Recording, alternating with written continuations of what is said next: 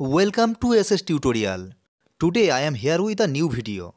This video is going to be on a very important topic. So please don't skip and keep watching. In our previous video, we discussed about mechanical weathering. Today in this video, we will briefly discuss about chemical weathering. So let's begin.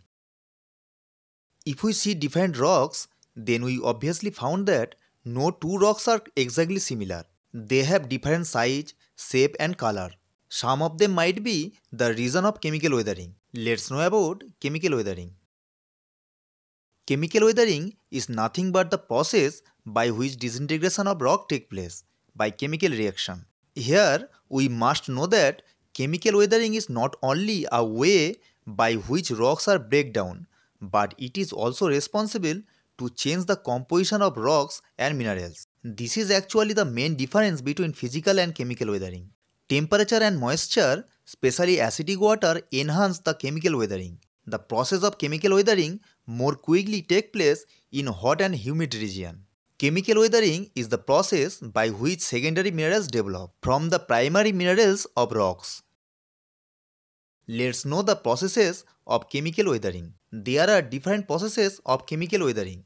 They are oxidation, carbonation, hydrolysis, hydration, solution and chelation. Let's know them one by one.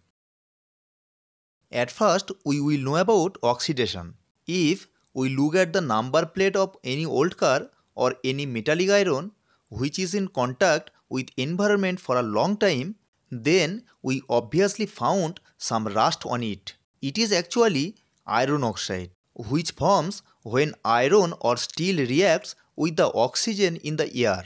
Oxygen is actually a reactive element which reacts with the rocks which forms by a higher amount of iron content minerals. When minerals in rocks oxidize, they become reddish and less resistant. So, we can poke a hole in it just with our finger.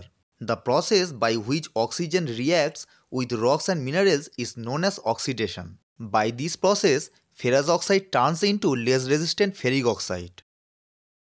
Let's know about carbonation. Carbonation is the process by which rocks and minerals react with weak carbonic acid, which forms due to combination of water and carbon dioxide. Sometimes rainwater mixed up with carbon dioxide in air and forms carbonic acid. This phenomenon widely known as acid rain, which dissolves or break down minerals in the rocks. Acid rain react with marble to form a powder-like substance which is then washed away by the rain.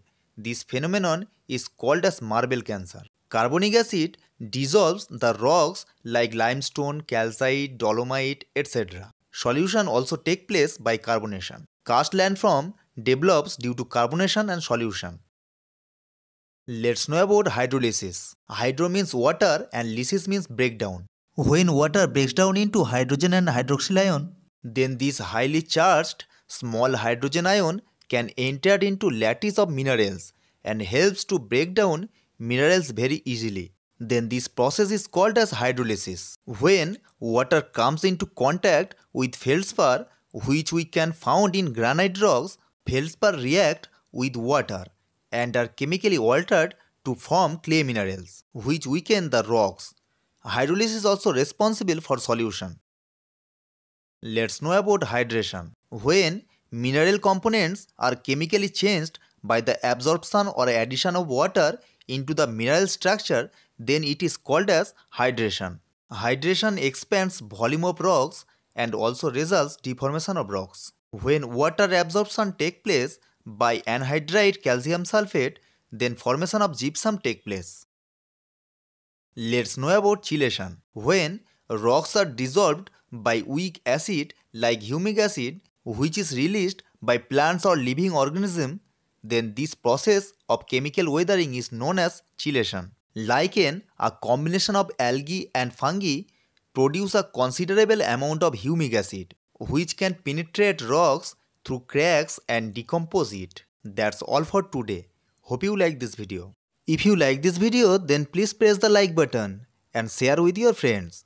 To get our new video, please subscribe my channel. Thanks for watching.